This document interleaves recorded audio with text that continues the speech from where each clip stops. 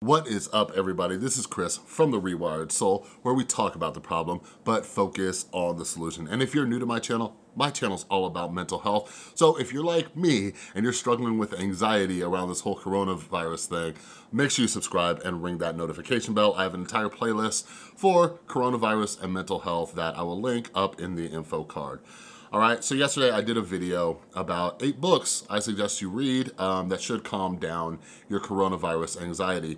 But today I wanted to talk about some facts and just a quick little update about myself. And um, yeah, I've, I've noticed that my anxiety has mainly come up um, around other people's behaviors, all right? For example, like just running to the store yesterday to go get some coffee creamer, I see people just hoarding toilet paper and that's when I start getting anxious.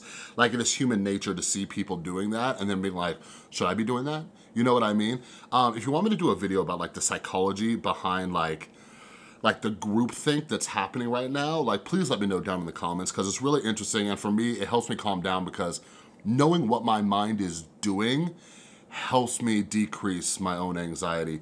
But anyways, before I jump into this, there is an amazing psychologist and author named uh, Robert Duff, and he just announced on Twitter that his two books, F Depression and F Anxiety, are free today through Sunday okay? Uh, I'm gonna pick up a copy of F Anxiety because I already read F Depression and it's so, so, so good. He also has anxiety courses. But anyways, Robert Duff is awesome. Make sure you follow him on Twitter and I will link his books down below. They are free.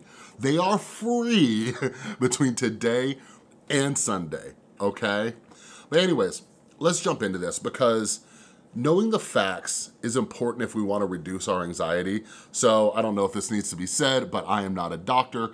I hope you guys are following credible sources about coronavirus updates and not just the mainstream media, okay? Like, you're gonna see with these stats how the mainstream media is increasing the fear, but even more so, even more so and even worse, it's people like you and me who are increasing the fear.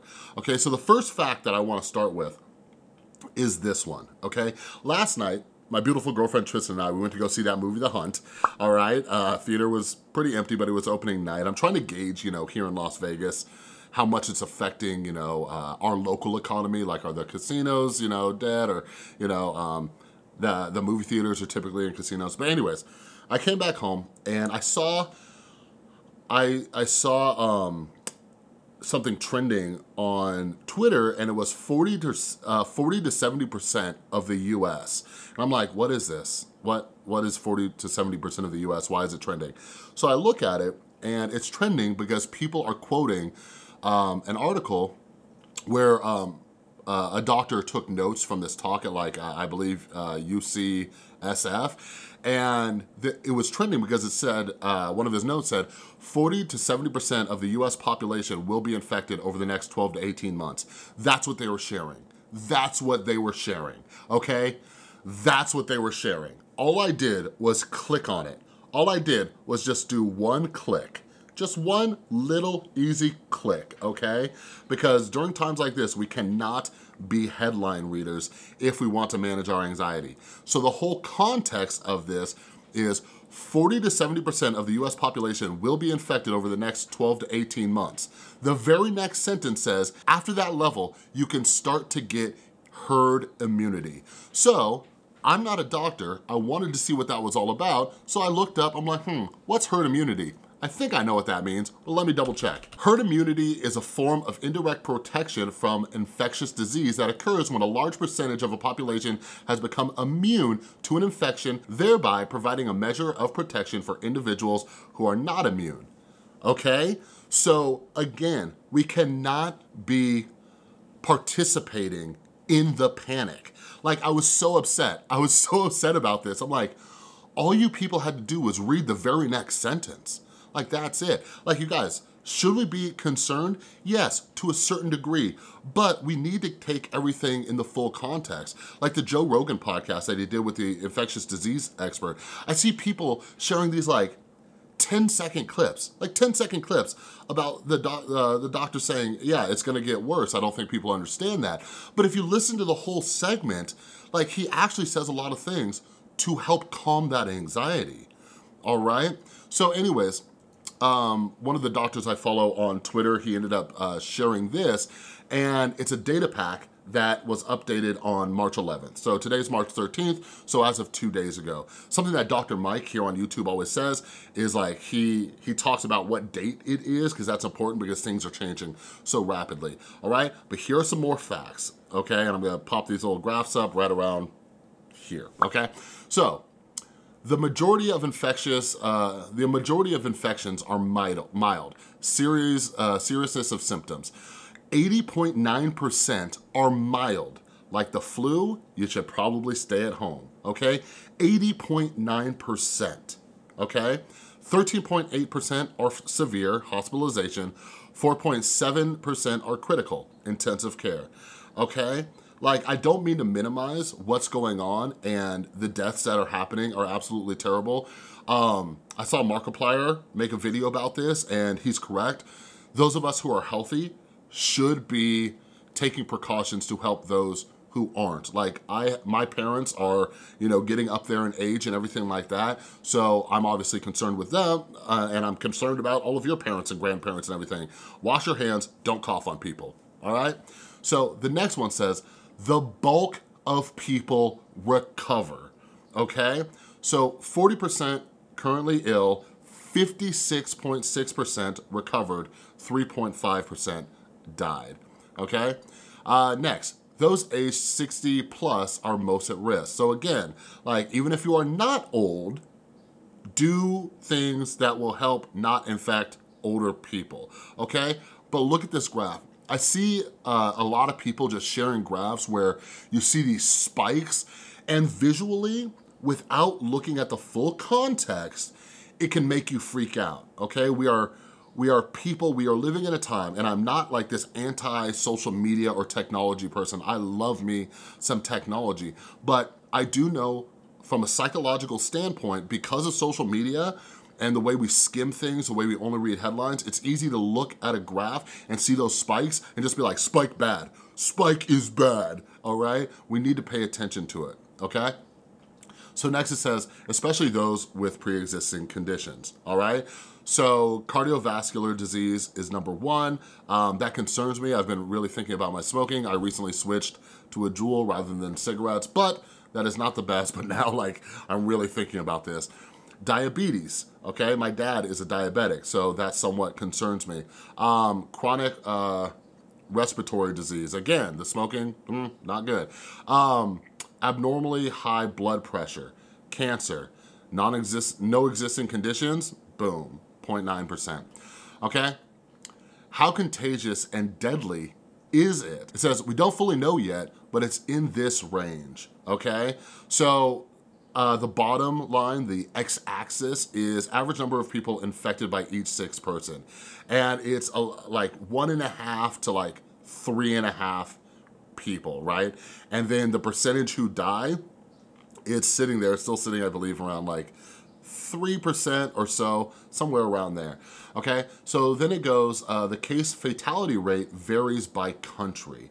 Quality of healthcare, average age of population, both factors. Listen, I don't mean to get political, but I'm gonna toss it in real quick. Like, right now is the epitome of why we need Bernie Sanders in office, okay? Quality of healthcare and people who have access to healthcare, okay? You have Bernie and Biden, Bernie's the one who wants to give you healthcare. I, and I don't know, I had to throw that in there because I'm amazed that this is this is a prime example of why we need Medicare for all. Anyways, as you look, um, it has China, Italy, Iran, South Korea. I'm gonna link this down below if you wanna check your country. Um, for me and managing my anxiety, I'm looking at the USA.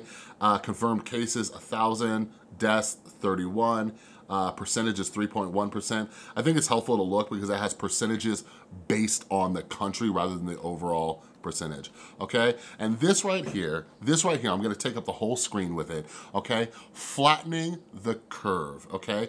Fast, intelligent action slows pandemic effects. Stop overwhelming of healthcare systems, okay?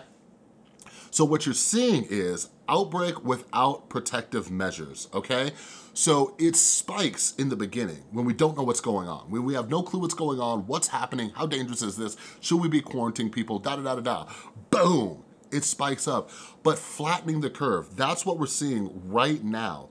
Outbreak with protective measures, okay?